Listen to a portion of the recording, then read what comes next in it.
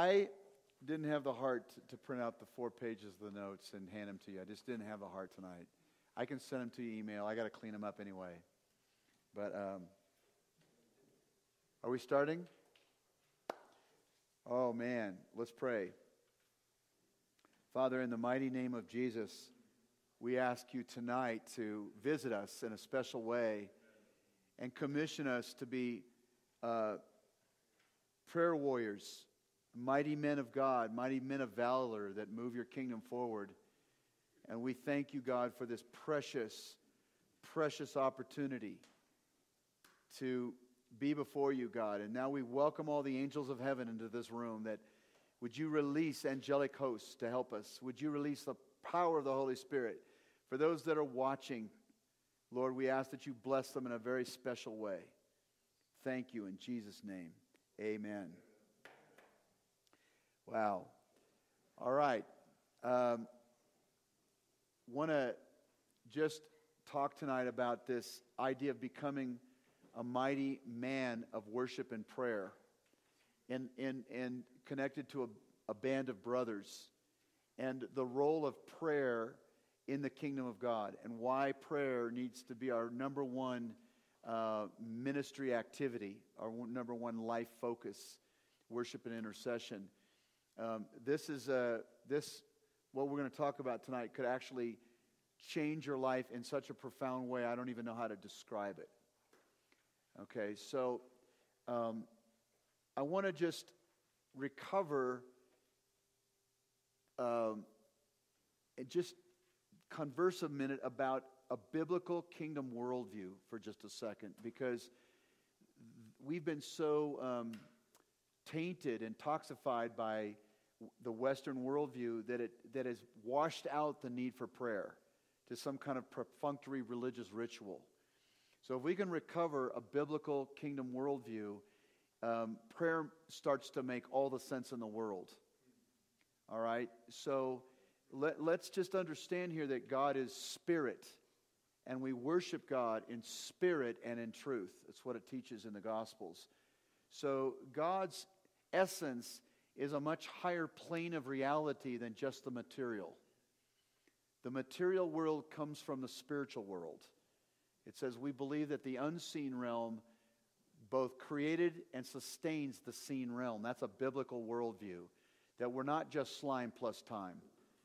We're, not just some bacteria that was floating around in space um, that, that got onto a, a host planet like ours and then over, over billions of years evolved into a thinking, conscious, self aware entity. That, that's like chaos does not produce order and you cannot have order apart from mind. So, this whole thing was set up and designed by a designer, and that designer happens to have a higher life force than just the material realm. And, and in, the, in the heavenly and the earthly realm, and by the way, the, the Bible is very clear that there's, that there's heavenly realms, that there's, that there's that these, that these realms of reality aren't not just out there per se, they're actually in here, but you access these other realms by a protocol or an etiquette. And so there are angels, really. There really are angels, and these angels have rank. There really are demons. These demons have rank, they have order, they have capacities to, to torment, to taunt. And it says in, in Peter, your enemy, the devil, robes around looking for someone to devour. Like you do have an enemy, and he hates you with a, with a, with a hate that is indescribable.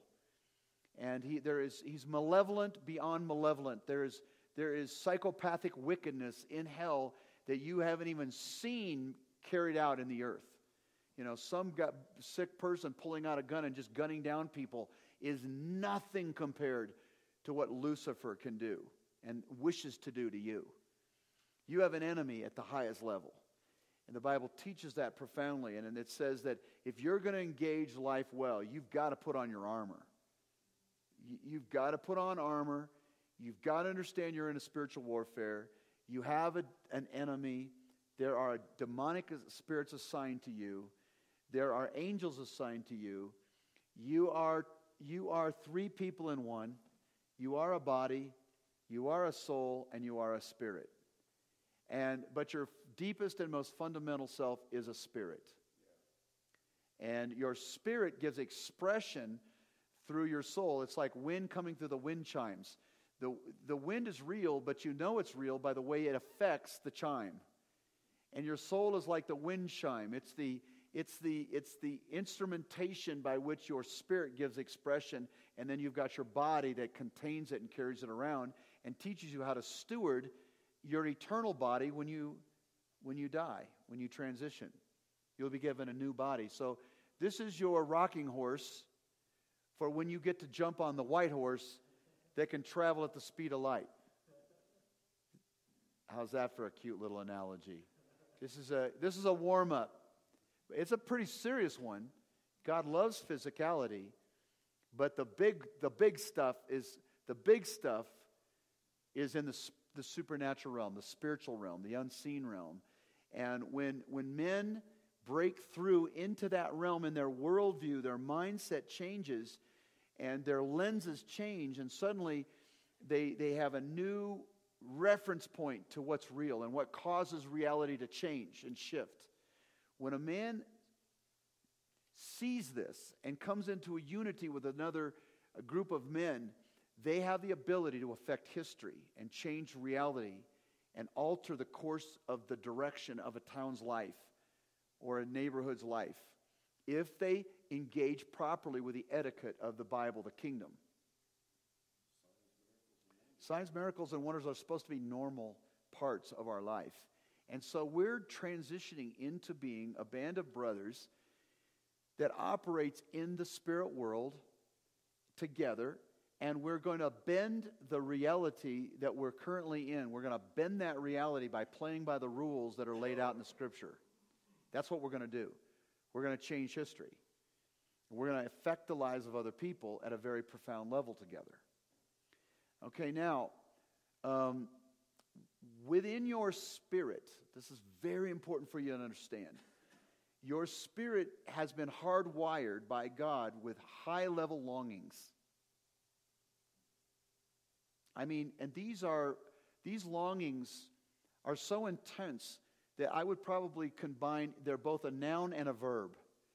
They're, they're, they're, they're like so non negotiable. They're levels of ache inside of you, desires inside of you that are non negotiable. Okay? Did that make any sense, what I just said? Your spirit man is, has, has a set of needs so intense that if those needs don't get met, something inside you dies. And you're, you're actually described by God as a walking dead person at a spiritual level. So now let, us let's, let's go. We, know, we understand our physical needs pretty easily. And, and these needs are, by the way, universal. They're not, they're not culturally bound, they're not historically bound. You can go to any human being in any culture, in any continent of the earth, over any of the last whatever years, tens of thousands of years of history, you will find the same physical needs that are in men and women. They've got to have water, they've got to have food, they've got to have oxygen, they've got to have a stabilized temperature. you know, they've got to have they, they've got to have sex. Josh was waiting for that one, for me to mention that. They've got, you know, we've got to have these things to maintain the physicality of our creation. Everybody got that part? Are, is the cravings that come on your body, are those negotiable? Can you decide, well, I'm just going to do away with moisture? I'm like, I just think, ah, forget about it. It's too annoying to keep having to drink stuff. You get my point? Like, isn't that ridiculous? Okay, now your soul has the, a, another set of desires and longings. And your soul is made up of your will, your mind, your emotions. Your emotions must be awakened and energized and entertained. Your, your mind must be stimulated. There's nothing worse than just, you know, sitting there and being bored in your brain. And you, you need to have the right to make decisions. That's in your volition. So, uh, your soul has these huge, deep needs longings. Right? Okay, now I'm going to name some of the spiritual longings because these will make sense as we approach the topic of intercession and prayer and what you're going after here, the transactions you're going to try to do with God. Your spirit man is far more sophisticated than your body and soul put together. And it has this intensely embedded, hardwired longings. Now, here's a couple of them. One of the longings of your spirit is to know your Father in heaven. You've got to know your source. And the word Father means source. And there's, there's nothing more painful than to not know, not know where you came from, not know the person that brought you into existence. You have a huge need to know why. But even more than that, you have a huge need to know who. Who? Who? Because you're a who. And you know you're a who. And so you're going like, I'm a who. Where did this who come from? It had to come from another who. It couldn't have come from just, you know, just non, you know, non-conscious matter. A who, it's only a who that can make a who. And I'm a who. So who, who got me here? And and the name for that being is dad, Abba, daddy. There's something instinctive in every person. I got to know their daddy. And if you don't know your daddy, natural and spiritual, something's broken, something's gone unmet, something's not right. You're whacked out. You're not functioning. Your spirit longings aren't being met. Now, by the way, I just want to put in this little plug since Mark just walked in. Do you know that these longings, they don't leave you when you go to business, when you go to work? You get right. Do, do your physical longings leave you when you go to work? Uh, no. Do your soulical longings leave you when you go to work? No. Actually, they're actually stimulated at some level. They're actually awakened even more. So, do your spiritual longings leave you when you go to work? No. So, we've got to stop compartmentalizing life and saying that, you know, well, that's my religious life, that's my God life over here, and that's my work life. That is bunko in the Bible. That's bullcrap. There's no such there's no such sacred and secular dichotomy in Scripture. The longing, you take these spiritual longings straight into the workplace. And if a businessman would figure this out and understand that every person in that room has is hardwired the exact same way, no matter what their race, what their gender, where they're from, what their ethnicity, none of it, it's, they're all hardwired the same way. They all have the same longings. And if a businessman will figure this out, and but because and the only way he can figure it out is if he's sensitive to the kingdom. Religion does not meet the longings of the spirit. So that's a counterfeit. By the way, can you get your longings met in a counterfeit way? Can you go out and eat crap? Can, you know, not, and, not, and not live, not live long. You can, you can, you, you can do short term buzz, but you will not do long term, it's not sustainable. Counterfeit, counterfeit food is not sustainable. All right, so in the spiritual world, these longings of your heart, they can be met in counterfeit ways, but it's not sustainable. It won't work. So here's another thing you need to know. You need to know your identity. You got to know who you are as a son of God, daughter of God. You can't that's not like a negotiable. And only the one who made you can tell you who you are. So your identity has to come from outside of you. And someone that fathers themselves is, is, is a self turned in on self, and it never works because you can't tell yourself who you are. Only someone, the, only the one that made you can tell you who you are. So if you don't decide to listen to him, you're going to create a false self, a counterfeit self, and your persona that you're going to invent is going to fall far beneath who you really are. All right? So, inside of you is a need for identity. Inside of you is a need for intimacy. You've got to connect. You've got to connect. You've got to connect in a deep way, not just superficially, but at a level so deep that your spirit almost sinks into the spirit of someone else. It says in the Bible you can be of one heart with someone else. And do you know that most men go through life only getting one or two friends that are soul level friends, maybe fishing buddies, drinking buddies, soul level friends, but almost no guys end up having cultivated intimacy with other men at a point where they could connect with them at a heart level, call them in the middle of the night, be transparent into their lives. Very few men end up having really close friends. You, well, this room, there's a tremendous exception because we've created an environment that says we are on this planet for intimacy and we are going to go after learning how to be intimate friends and a band of brothers. But but that's exceptional. Even the church has has compartmentalized people and you know gotten them to not relate. Okay, it, it, because it's more convenient that way. Okay, but we have a longing for intimacy. Do you know that you have a longing to be great? God made you want to be great. You aren't just some, you know, unique egotist walking around. God made you to want to be great. Now, you can have counterfeit greatness, right? Rich and famous, which never bleeds, or you can be famous and great in heaven. But Jesus played on our desire to be great. He says, You want to be great? If you want to be great, I'll show you the pathway. He's very committed to helping make you great. And any company that will help make people great, really great, that's a good company.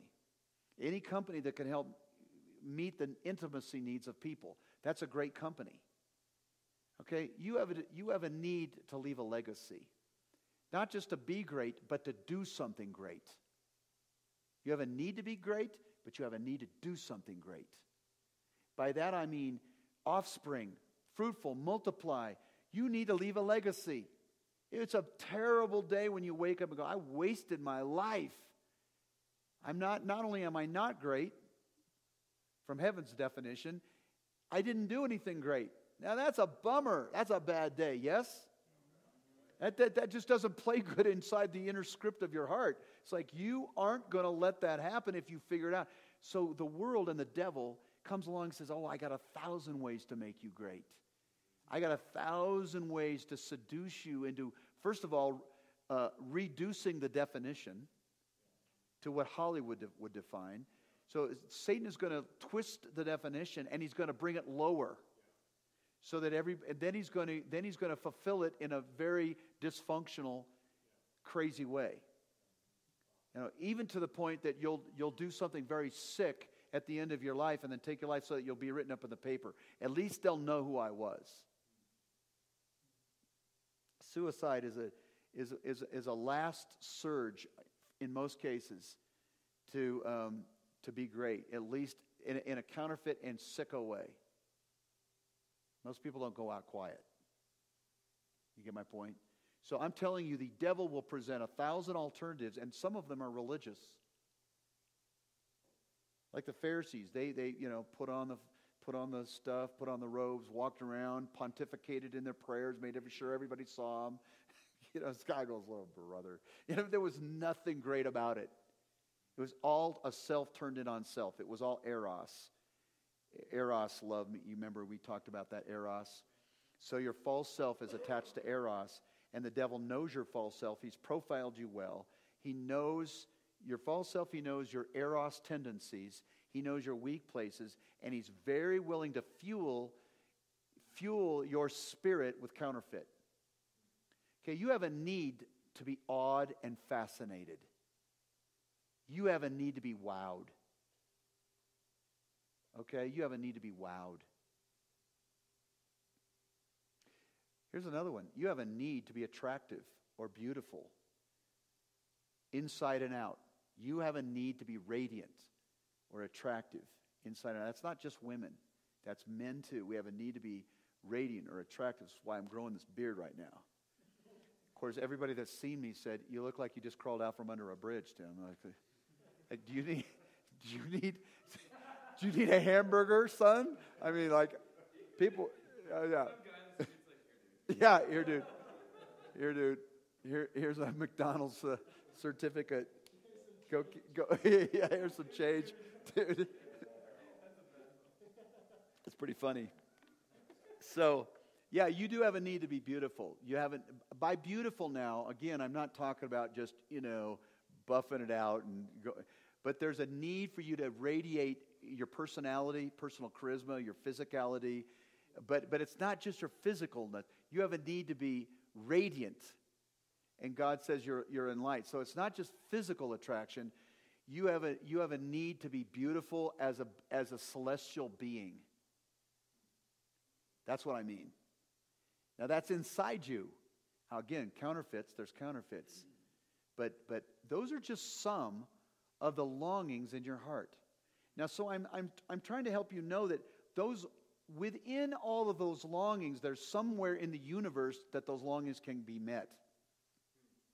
It's ridiculous to think that you would have the, you and everybody else that's ever lived on the planet, ever in human history, has all the exact same longings that you do. It's, it's, it's, it's ridiculous to think that there isn't a corresponding way for those longings to be met. I mean, if you have a need for water, there's somewhere in the universe there's called water.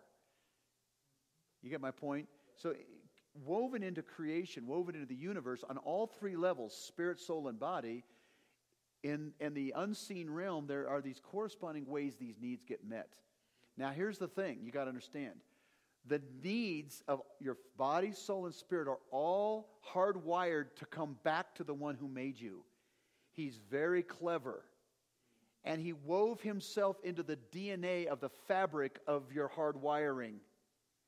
So you cannot work well without the Father, the Son, and the Holy Spirit. You won't make it without God the Father, God the Son, God the Holy Spirit. God is one, but yet three persons. Without the Word of God proceeding, Man does not live by bread alone, but by every word that proceeds the, out of the mouth of God. It radiates and it animates you. You cannot and will not have your needs met outside of the one who made you.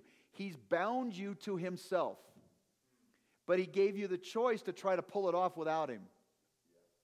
That's the craziest thing. And in the kingdom, the freedom level is so high that you can actually walk yourself straight into hell and God will be weeping and He'll inspire intercession, but you can literally walk yourself by your free choice straight into hell and not have God meet any of your needs into eternity.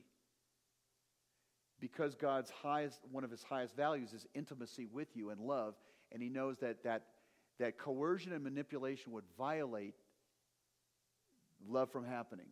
He's not going to violate freedom because He so treasures you and He wants you on your terms. He wants you to make a decision.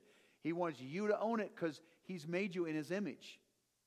He didn't make you as a roboton, He made you in His image to interact with Him, to play ball with Him, to love Him. And He's made you in such a way that you can't go very long without Him because you'll feel the squeeze down on the lack of your needs getting met. The, your longings, something will squeeze down inside of you, and you'll start getting pissed or lusty or irritated or driven or a thousand things that are just agitated, frustrated, claustrophobic. Ah! You get it? Because they're not going to go away.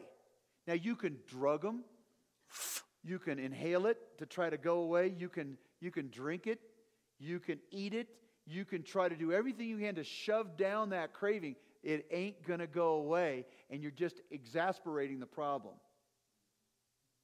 You can try to be a workaholic. You can buy, try to be an alcoholic. You can try to be a foodaholic, a sexaholic, uh, whatever aholic you want to try to be. You will not satiate this deep longing with illegal counterfeit methods. You'll dull it, you'll prolong it, just like if I eat a bunch of sugar right now, I might, I might for a second prolong my hunger pains, but I'm just going to have, I mean, it's going to just really jack me up. So, you, here's my point you don't got a chance. You can choose to die and live in death, or you can choose to tap into the one who made you. Now, here's the good news is everybody walking the planet has these longings. All you got to do is get the language that builds a bridge into their spirit man and begins to conduct the anointing into their spirit, and you'll begin to meet those needs There's the, the greatest fun in the world is to start being a conduit from heaven that meets the longings of people's hearts and then describe later where it came from. Like, why not be intimate with somebody that's a card carrying pagan? Why not open your heart and start affectioning them? Why not begin to affirm the, the, the, the spark of greatness that's within them? You see, here's what I think I think people are getting kingdomized by the Holy Spirit outside the box of religion. God's, your daddy's working all the time. You know, there's a thousand, th- th- those people out there, they're never going to darken the door of a church, people. They're never going to do it. Because they're convinced that you're going to, right now, that they're thinking you're going to rip them off from drinking beer right now, or that you're going to talk to them about what they can do with their penis, or, you know, that you, you're going to have these deep religious, you're going to dump a bunch of rules on them. And so they, they, they have no clue what, where you're coming from, that you're a celestial being that's in touch with their deepest longings. They think you're going to dump a bunch of meetings and rules on them. And they're not, they're not about to crawl into our jargon in our world. But do you think the Holy Spirit's going to leave them go? Leave them be? For one thing, their longings are too intense. They're doing something to satisfy it on that campus in that you know where you can't you're, you can't meet a person and their longing isn't isn't vibrating inside of them.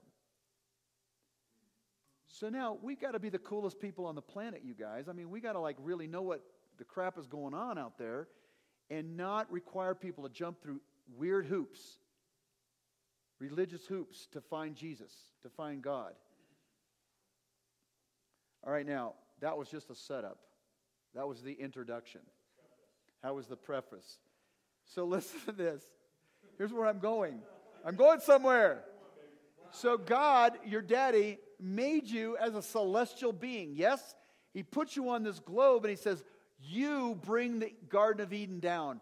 Bring heaven to this ball, this green blue ball. Bring heaven here. And here's what he said. This is unbelievable. He bound himself to his own word. Let them rule. Let them rule because and he wove into the hard wiring the desire to rule. That's why you don't you don't like anybody to tell you what to do. Nobody likes to be told what to do. You like to be told what to do? Hey man. Nobody like I mean, the minute nobody likes to be told you know why?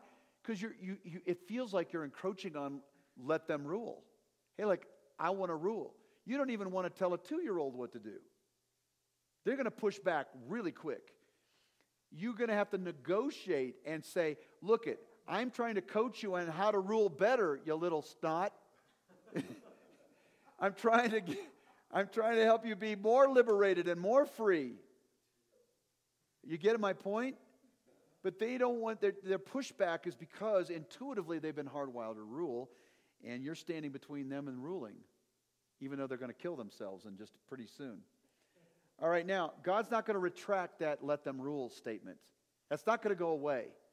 He wants you to be a priest and a prophet and a king. Priest means you know how to build a relationship with God. Prophet means you know how to hear his voice. And king means you know how to, you know how to bring heaven to earth. You know how to do fun stuff that changes lives. Okay, so what happens in prayer is this this is a genius of what God did. He gave the ability to manipulate and to control and adjust the world to every person, and he made it as simple as it could possibly be. You don't have to be intelligent. You don't have to be pretty, conventional pretty. You don't have to be anything to pray.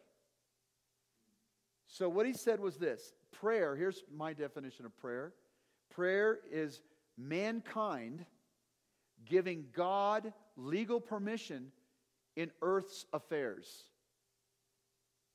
because it says heaven is God's and earth is man's.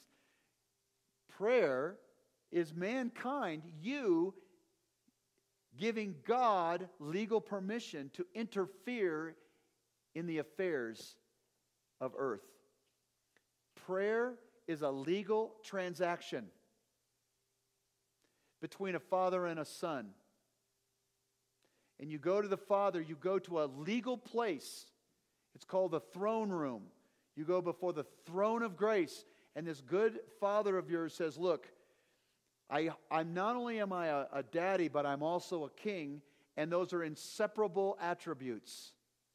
I have sovereignty. I too have sovereignty. He goes, I broke off a chunk of my of sovereignty and I gave it to you. You have sovereignty, but guess what? I've got sovereignty. And your sovereignty won't work outside of my sovereignty. So now you got to do business with me. Do you want to or don't you? And you go, it seems like it'd be pretty intelligent to interact with this genius, all powerful, all good, all awesome, full of balls of light and glory. It would probably be intelligent to interact with this being in a meaningful way and permit him to do what he told me to ask him to do.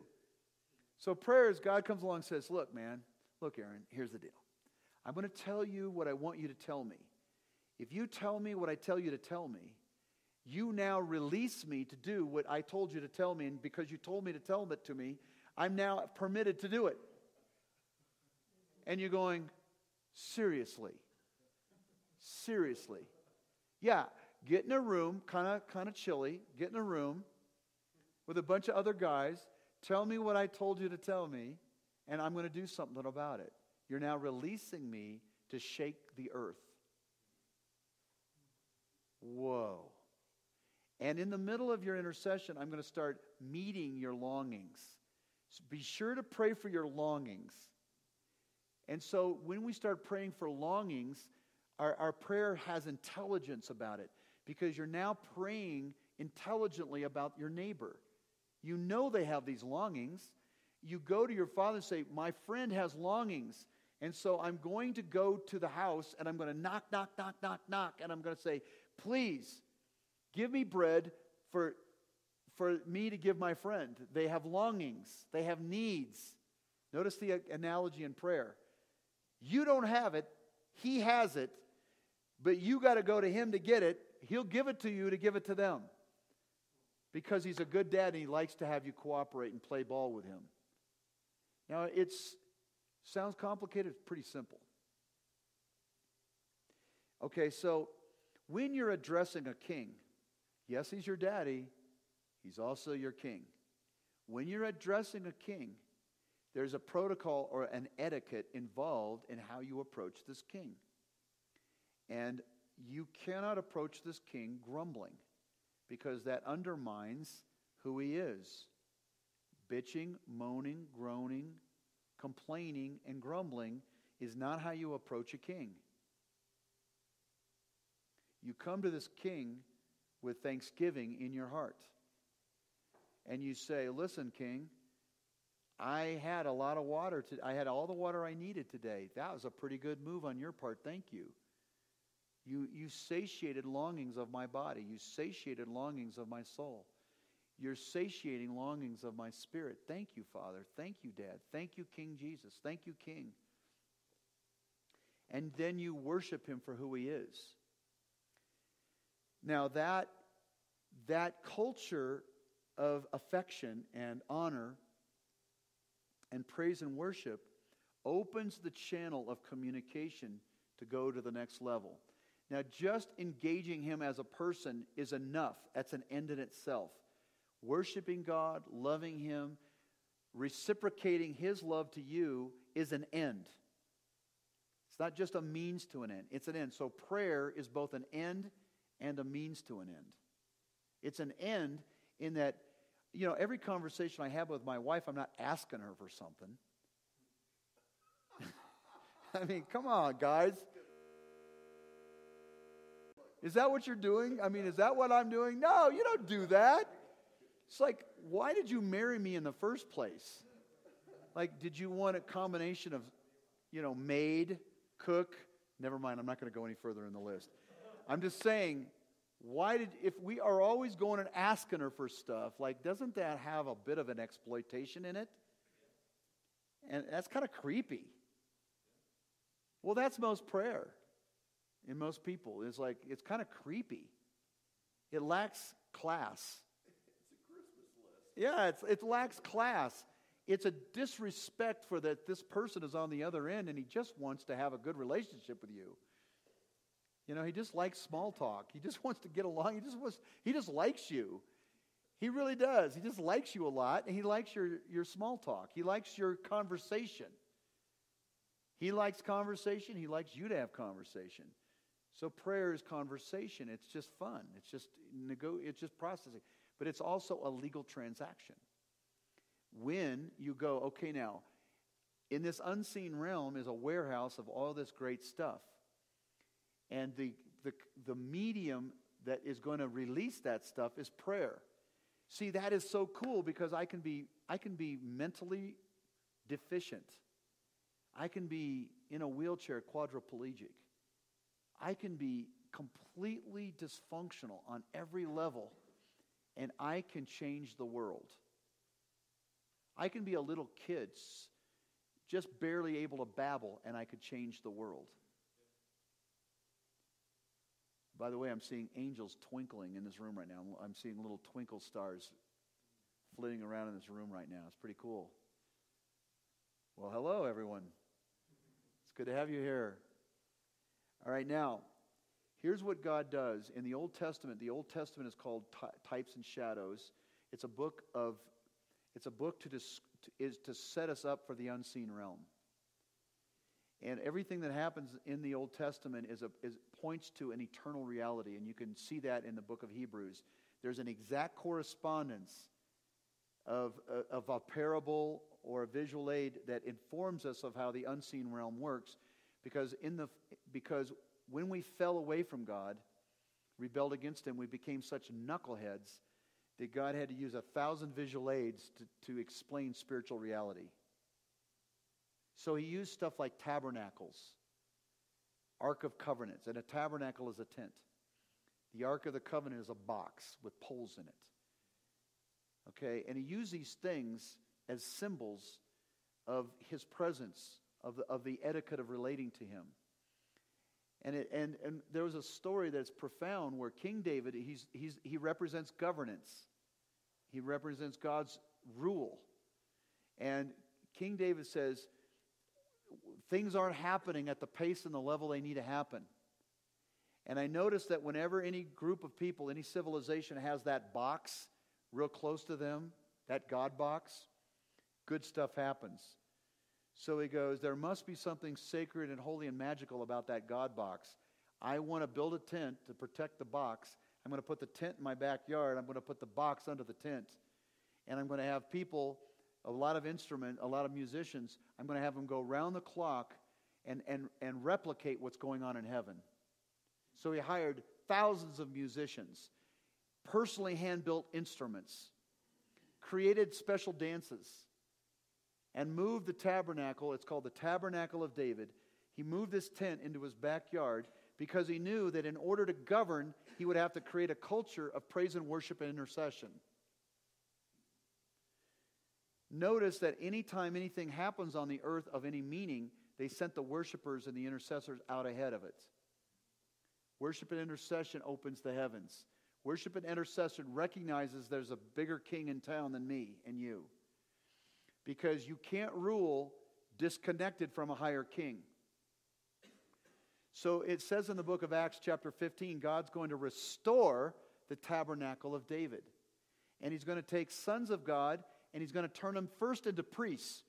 And these priests are going to blow horns, dance, scream, shout, plunk harps and guitars, and, and they're going to worship God in the craziest, most militant, most demonstrative ways because that's how heaven feels it is. They're all dancing around up there. They're screaming, they're shouting, they're having the time of their life. Pa- passive, anemic, you know, worship is not biblical. And that's why Wes Tola said, uh, Wes Campbell said, don't have chairs in your prayer room. Dance around, scream, shout, hit drums, go crazy. And David manifested a true heart of a worshiper when he put a loincloth on and he danced before the Lord. That's a real man. You know why? Because he's not self conscious, he's God conscious. And he goes, This is the etiquette of heaven. This is the only appropriate way you should act in front of a being of this magnitude. And if you can dance and, and paint your belly at, at a Broncos game, for God's sake, paint your belly and dance before God. Right? I mean, come on. We should, honestly, I'm not kidding you at all. I'm being very literal. We should have face painting parties and we should have war dances and we, honestly and we should get drums and, and and we should dance and we should we should be much more african much more guatemalan much more demonstrative in our worship why why why are we doing this one it's an end two it's a means to an end the end is we're going to open up heaven with praise and worship something mystical happens when you praise and worship God.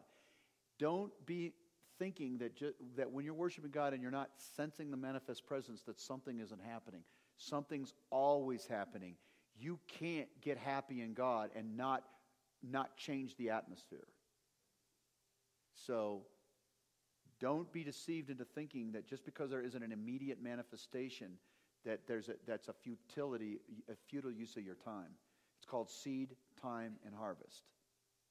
Now, you can't really open up a, a, legal transaction with a, with a king that's that glorious without praise and worship. So while praise and worship is going on, you now, you now negotiate with a king at the courts of heaven. And you say, I've read your book. I know what's permissible. This is the menu. And I'm now going to read your book back to you out loud. And I'm going to tell you what you told me to tell you. And I'm going to assign names to these passages. And I'm going to, I'm going to basically invoke your power. And I'm going to permit you because I've got sovereignty on the earth. You gave it to me. I have a dirt body, I have an earth suit. That earth suit entitles me to pray. So, in my earth suit, my dirt body, I'm a legal entity because Christ is inside of me now. I'm a son of God.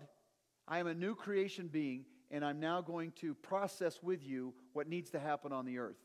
Thy kingdom come on earth as it is in heaven. And the guy goes, Okay, on one or two conditions. I'll let you talk to me like this. But your personal life better not reflect that you're still king.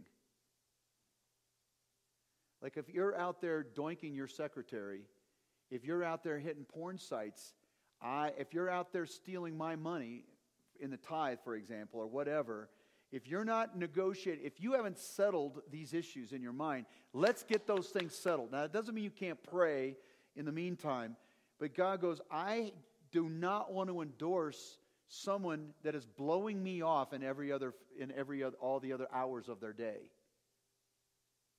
Is, my, is your business my business? Is your money my money? That's the Lord talking. You know, and Bill Johnson says money is the kindergarten in the kingdom. It's not even, it's, it's kindergarten in the kingdom because money establishes whether you've settled the deal or not of who's, who's, who's God. Because where your heart is, there's your money, right? Yep. So you, you, money, money has a way of settling the issue. Let's put it that way. And 10% of your money, that pretty much settles the freaking issue. Like, that's a lot in today's world. But I have to scale down my lifestyle to accommodate this because all of it's His, and He lets me live on 85, 90, whatever. So God goes, Look, I want you to settle some God issues. I want you to settle some kingdom issues. I don't want you to be verbalizing, verbal. I don't want you to talk to me as a king without acting like my son. See, you're my son and I want you to act like me. So here's the deal I'm merciful. So if I'm merciful, I want you to be merciful. And that means if I'm going to forgive you, I want you to forgive those people. And don't start talking to me about doing a lot of stuff if you are going to be bitter and unforgiving of the people that have hurt your, have hurt your life. Well, I have a right. I have a right. He says, You have a right as a first Adam's false self in eros love to be a, uh, to want vengeance and to be bitter. But if you're your true self as a son of God and you know that my greatest attribute is mercy, then you better act like me. And you better release that person in mercy and forgiveness because you're not acting like me, and I'm not obligated to answer your prayer if you're going to hold that person in prison and keep cursing them with your unforgiveness. Whoa. So you read the Lord's Prayer, it's a legal transaction, guys. And when you're asking for the kingdom and you know your daily bread, notice woven into that is and forgive us our debts as we forgive our debtors. He goes like, don't be coming to me with all this stockpile of bitterness and try to get me to do stuff with you when you're bitter as hell at all these people that ripped you off and betrayed you. Well, I hate them and they did betray me. I'm not asking you to act like they didn't do it. I'm not ask, asking you to be happy about it. I'm not even asking you to trust them. I'm not even asking you to like them. I'm asking you to eradicate the debt. That's it. You don't have to feel all ushy gushy, warm and fuzzy. Let them go from the debt that's in your heart. You're hurting yourself. So you see what I'm saying now? So God says, look, we're all going to go to the throne of grace, okay, with issues, every one of us. Now, here's what I want you to understand, though. That throne, that word grace, is such an incredible word. There is so much power, so much ability, so much capacity in God. The grace of God is His power his, and, and His uh, desire to enable you to be like Jesus. He has got unlimited power, unlimited love, unlimited abilities. So His grace is to help you get out of sin, not an excuse to keep sinning. So there's a lot of people in this, in this discovering grace. They say, well, that gives me a license to sin. No, that gives you power to not sin. And in due time, if you will go to the throne of grace, you can get liberated from every prevailing sin in your life, every addiction, every compulsion, every bad attitude, every dysfunction, everything that's perverted and out of order. There ain't one thing that the grace of God can't bombard in your spirit, man, and bleed into your soul and body. Not one craving in, that's in your spirit, soul, and body cannot God bring into divine order and answer those cravings. And, and basically, sin is trying to get your needs met outside the grace of God. That's what sin is. Sin is trying to get your needs met outside the grace of God. So now, as a son, you go before the throne of grace. Now, what would happen if a group of us 15, 20, 30, 40 of us show up in a room. We bounce around the room. We worship God. We don't have to sound that great. We're just out of our heart. Our hearts are worshiping. And then we tell God what He tells us to tell Him. And we lift up holy hands. Now we confess our sin. So it's not like I'm going to come into this room all cleaned up and perfect. I might have to come into this room and go, man, I checked out a woman three sec- you know, it went past the three second mark. Well, it shouldn't go past the two second mark. But I mean, yep, she was, I was like 1001, 1002. Ah, ah. It went over and into the lust category. I want that. She's an object now for my pleasure.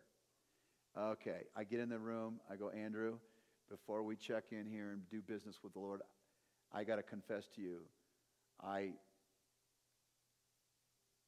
I lusted after a woman and I went past the, th- the two second mark. And I didn't just think she was a beautiful woman that, uh, that God created. I was moving toward fantasy. And I ask, I, and I'm now, I'm serious because that, that sexual sin will dull your spirit very quickly. There's nothing quicker that will dull your spirit, man, than sexual sin because it's very tied to your spirit. Very tied to your spirit. So, Andrew, I sinned. And I ask you before and God to forgive me. And I ask him to cleanse me from this unrighteousness. And I'm bringing this before the light of heaven. And you, you pray for me. You go, Lord, continue to help Tim make a covenant with his eyes. And give Tim grace to realize that he's a spirit being and that he's called to, to his sexuality is very holy and fun and wonderful, but it has a context to be used in. And that's, that's deflected away from his passion for his wife. And, you know, whatever. You get, you get my point? So we come in and we do business, but we don't do business as superficial beings. We do business with honesty. Now, what will happen if a group of men does this? A group of women, men and women come together. Here's what's going to happen. Well, it's going to be that, absolutely, but it's something so staggering is going to take place in, the, let's say, the city of Laramie. And we're forming a house of prayer, a father's house of prayer. And we want a band of brothers to come together as celestial beings with all of these needs and longings. And we come together and we transact business with our daddy in heaven, and we do it regularly all the time. Now, what's going to happen is um, we're going to puncture a hole in the second heavens where all the demonic that's all the demonic cloud that's covering this town. It's blinding the eyes of men and women. It's, it's infiltrating their marriages and their lives. It's ripping them off and tormenting them. I can't tell you how tormented this town is. It's more tormented than you can possibly think or imagine. The secret things that are going on in the campus, in the homes, in the trailer parks are so horrific and negative and bad. This town is locked down and imprisoned by demons. Where are the warriors? They're going to liberate their city. Okay, I'm looking at them. I'm looking at them, and you have the power. Now, what's going to happen is as you pray, you puncture a hole in the second heavens. And I'm literally meaning there is a covering, there's a dark second heaven cloud, and demonic traffic is going on in the churches, in the homes, in the businesses. All kinds of greed, crap is going on. And as you begin to pray, heaven starts opening and a glory cloud starts coming down, and the presence of angels start entering into the city, and a new urgency and longing to know God starts entering the hearts of people. People start beginning, being moved toward the, their interest in the, the eternal matters that they were built for. And, and a new culture and atmosphere is built up. Suddenly, what was almost impossible to do in terms of sharing Jesus, it now becomes easy. It's like lubricated, it's like easy. And, and, and people are more, you know, and, and then you pray for someone and they get healed. And then and people are getting visited by the Lord and they have dreams and visions and open visions of Jesus. And the next thing you know, they start repenting. They start coming to Christ and they started coming into divine order and life relationships. And micro churches started multiplying and businesses started getting kingdomized. And we start training the business community. How do you have a kingdom business without being dorky and weird and religious? We actually make money and do good products and services, and we meet the deeper needs of people in the context of business. And they feel it. They feel that electricity of greatness and of life flowing and intimacy and life flowing. Yeah, they got to do their job, but they do it with even greater excellence and greater creativity. And fear starts leaving the company, and that opens the door to creativity because fear shuts down creativity. Stress will shut your muscles down, your, your uh, brain muscles. You don't think good under fear and pressure and stress. But when you're creative and heavens are open and you're full of love and creativity and you're empowered and you you have ownership in this great entity and enterprise, the next thing you know, whoa, the whole company is flourishing and making money. And you're flourishing and your deepest needs are being met and you're more radiant and you're more beautiful and you're greater and your spirit man expands and wherever you go, you bring an atmosphere. Wherever you go, you bring love and wisdom and revelation and power. Everywhere you go, you change the atmosphere. It doesn't change you. And all this comes because you're ministering night and day to the Lord and you're, and you're processing out loud in prayer what you want God to do. So you have, you pray without ceasing. That's why God gives you tongues to pray in tongues. That's why you, the Lord teaches you how to pray. Paul prayed without ceasing. Now, he kept his soul engaged in his work, but his spirit man was in an ever connected communion with God because he knew that to get his spiritual needs satiated, he could not disconnect from God. That's a religious spirit.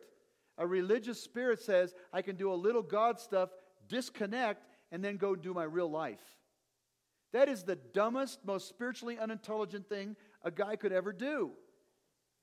You want to stay in an oh, constant communion with God all the time because your spirit man is ever expanding. And you go from glory to glory to glory to glory.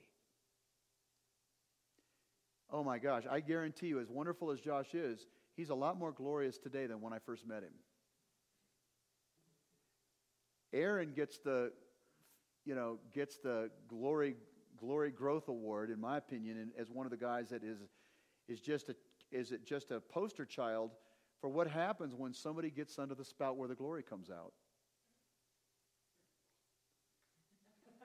Aaron is not the same dude at all.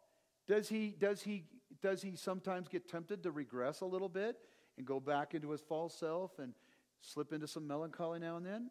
You know what? Maybe a little bit. But I want to tell you, those, those times are further and farther apart than ever before. And he has some tools inside of him to know how to now self manage and self correct. That's what the, that, that's the, the spiritual stud that he's becoming. And now all of us are called to be warriors. And this is an appeal not for some cute little church ministry like, oh, the prayer meeting where the old ladies show up and knit while they're talking to God. I'm talking about, I'm talking about, I'm talking about a wild and crazy, militant, take no names, take no prisoners, kind of praying that says we've got a city at stake, we've got a state at stake, we've got a region that's at stake. And we're not, we're put on Highway 80 for a friggin' reason. Because he wanted the tabernacle of David. He wants, he wants to restore the tabernacle of David in his goofy box of a building that we were given. And he, and he wants this place to be emitting the, the glory light of God. And he wants to do the same thing in Kansas City and pretty soon other places as well. But somebody has got to break the code. Now, here's the problem. Out there in the world, this, this idea of the global prayer movement is taking on such traction, it will make your head spin. But unfortunately, a lot of the people that are dedicated to night and day prayer and worship and music and stuff, they don't see the other side of the kingdom, like the micro churches, the need for the micro churches, or they don't see the need for kingdomizing the marketplace or doing community development work. So, a lot of times you've got a compartmentalization of prayer, and it's just put in the hands of these full time priest, priest type people that don't know how to manage life. But God doesn't want that in, the, in, the, in, in our tribe. What God has called us is a Melchizedek people. And Melchizedek was a unique figure. He was both a priest, a prophet, and a king. All at the same time. He was a prototype of Jesus. He was a prototype of David. He was a prototype of Daniel and of Joseph. These are all prototypes of the kind of men we've been called to be. We're not called to be just little, you know, pale, churchy boys. We're called to be wild and crazy militant priests who minister to God with the cherubs and the archangels. We're called to minister and dance and love God and not be self conscious at all. We're called to hear the voice of God in the Word and the Spirit, and we're called to rule and reign and mobilize the people of God to bring the kingdom of God to our town and to our region. That's what the heck we're here for. And that speaks, the reason why he just did that, because his spirit man is going, I've got hope. I know why I'm on the planet now. Religion won't tell you why you're on the planet.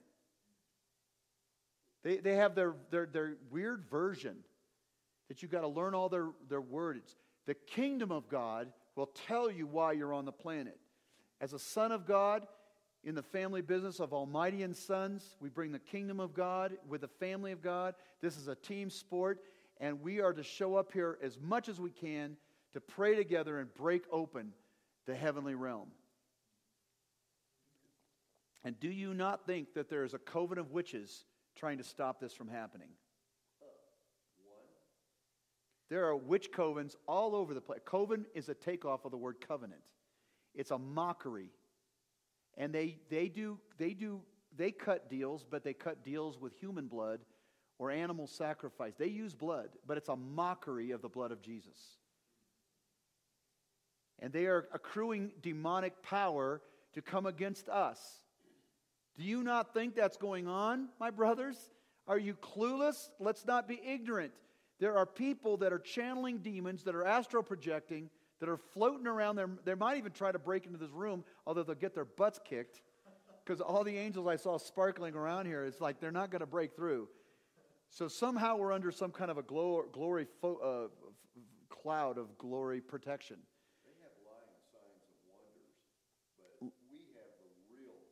They have lying signs of wonders moving in the second heavens. We have the real stuff. But here's the thing God is migrating men out of their Christian religion and into the kingdom of God. He's migrating men into being militant sons and soldiers in an army. And, and that means we have to be deconstructed from some of the religious residue that we've been taught, and we've got to reconstruct around the things that are in the Bible.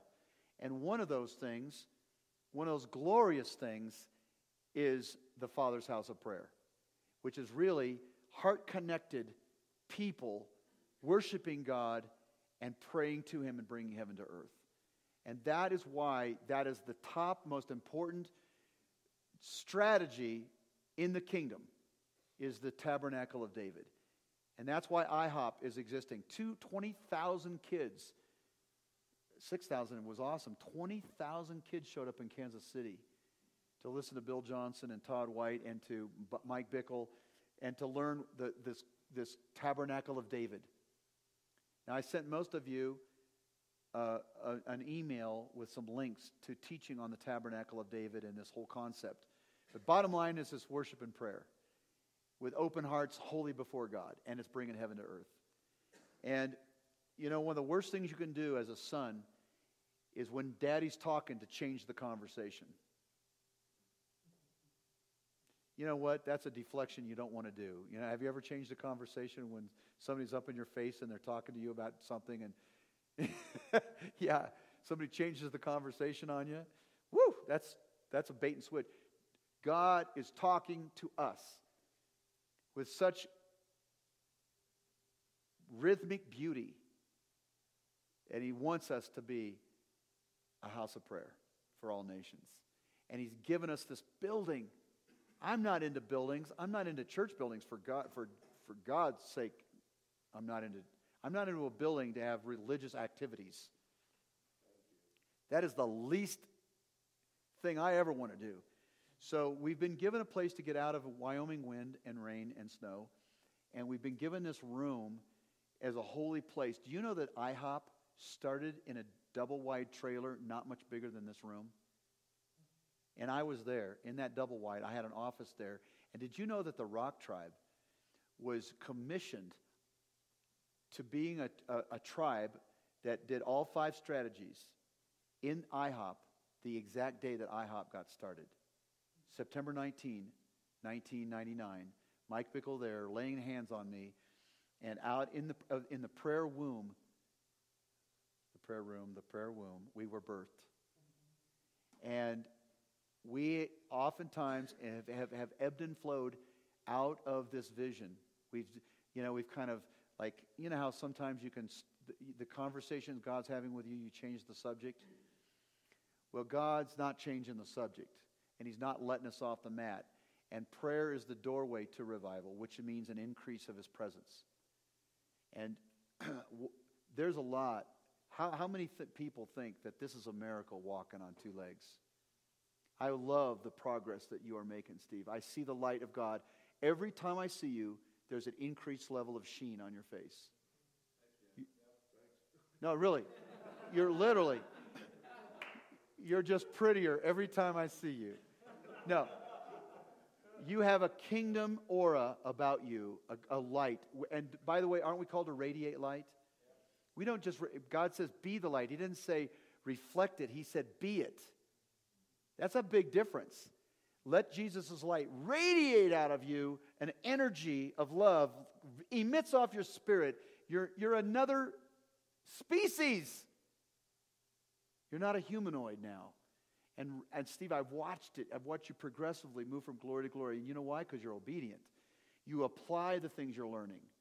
We say journal, you journal. We say pray, you pray. I mean, I'm telling you, man, And you are going to be used of God in ways that you have never thought possible, my friend. And that humility on your spirit, and that you are getting set up by heaven to go in a great place. But, but don't be surprised if somebody, if you get smacked right in the face by a demon and some creepy thing happens. And it usually happens to the people we love. So don't be caught off guard and freaked out if there's a, if there's a fist fight someday. I mean, what, that's kind of fun. Just kick its butt. Just go kick its butt. And we're all going to be in fist fights with demons. That's why we call each other, because they, they gang up. If they gang up, we gang up. And they will gang up. They do gang up. They don't ever come alone. So they come with gang because they're, they're chicken.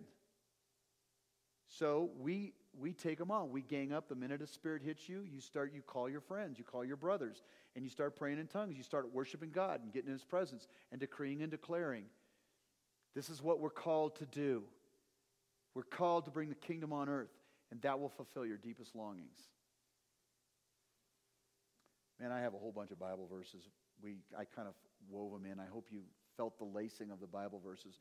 Now I'm going to pray an impartation that I was that I've received over many, many years of, I mean, amazing intercessors. Lou Engle has laid his hands on me. He came to the Rock Tribe and preached down in Kansas City. Lou Engle, I mean, one of the most incredible intercessory generals in the world. And he's laid his hands on me. Reinhard Bonnke has laid his hands on me. Actually, three times I kept getting online. I mean, a lot of these. I really did. I really did. It was so funny. It was like, oh, man, I'll, I'll do that again. Oh, man, I don't know of any guy more amazing than this guy.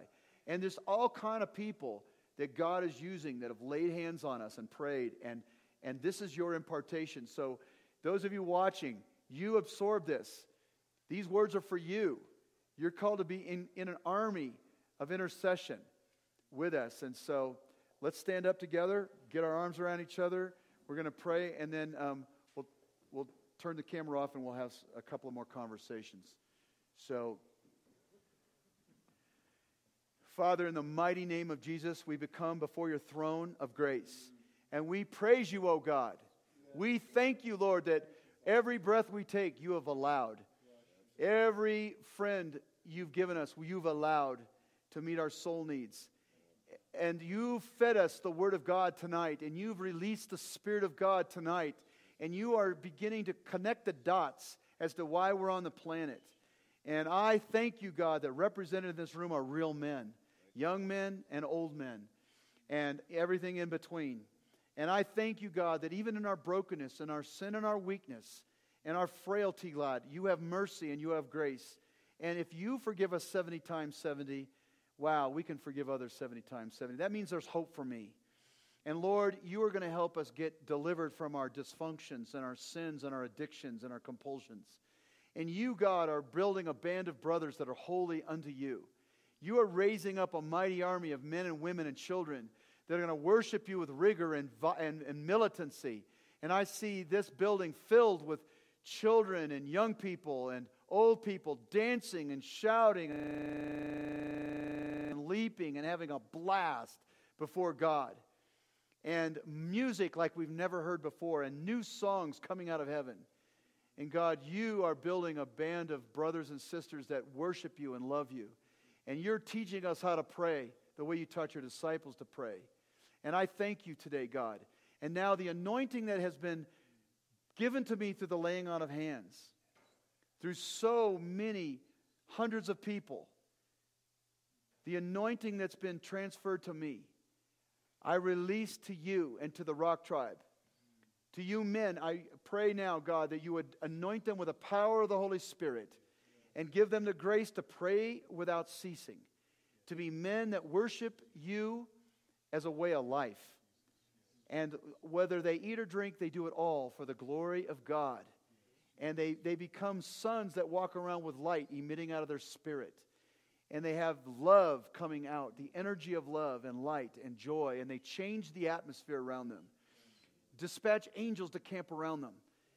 And those, those taunting and, and, and time stealing things that keep us from praying, those little annoyances and irritations, and, and those ungodly distractions. I sever those demonic distractions that will come against you, that will keep you from communing with God night and day.